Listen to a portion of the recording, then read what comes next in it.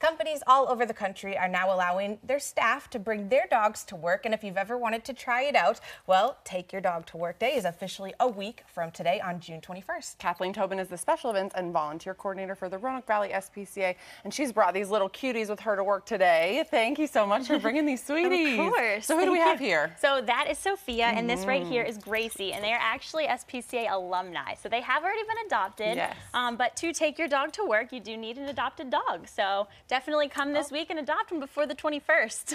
That's right. This one looks kind of scared. He's shaking, oh, but yeah.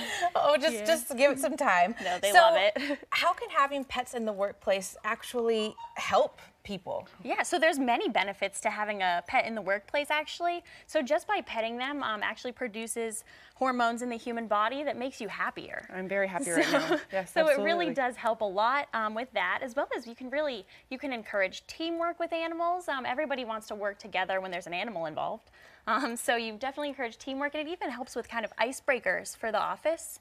If you get together, you can do icebreakers. Um, if there's a new employee, that kind of helps them to go up, talk to the person, um, meet the animal, really. So it gives you something to talk about. And even I think mentally or just with stress, with anxiety, with just um, a more calm atmosphere, is that something as well? I mean, gosh, you're not a scientist, but there's something that goes off in the brain, I would think. Yeah, no, studies have definitely shown. I did some research on the studies, and there are many, many benefits to it um, mentally. So it, it allows you, if you're if you're stressed out and you're constantly focused and working, it gives you that chance to get up from your desk, take the dog on a quick walk, bring them outside, um, and then studies did show that once you sit back down, you actually are a lot more focused as well. So it helps. It create helps productivity. Absolutely. So, what are some ways that we can bring our pets to work with us safely? What are some ways we can make it kind of homey for them and keep them safe while they're with us? Yeah, so um, always bring definitely a food and a water bowl. That way they can be comfortable, that kind of thing. Um,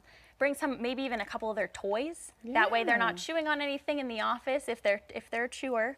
Um, so it's definitely worth making them feel like they're at home. Um, even a bed. Sometimes in our offices, when we have the dogs in our offices, we do try to give them a home type of environment. So. Very nice. And how are you guys encouraging people to bring your dog to work? Yeah, so um, if you ta want to talk to your supervisors around town, um, in the past we have had donations made to our shelter um, from employees that have brought their pets to work. So it's kind of encouraged um, join the community and help out our shelter by bringing your pet. Last So- year you were with like a local bank, right? Can you explain what happened there and how maybe other companies could do that same thing? Yeah, so they worked um, all together. They got together, talked about it, and they decided, well, we're going to do this as an entire company, the whole company. If anybody wants to bring their pet, we would be happy to donate individually to our shelter. So each staff member that brought their pet did make a donation. So they got permission and all went through with it. So My squirmy definitely- little worm here. Now, these you said these are alumni, so they are not available for adoption. But you guys do have plenty of furry friends that are Mm-hmm. available for adoption. If anybody is looking for someone to tag along to work with them next week,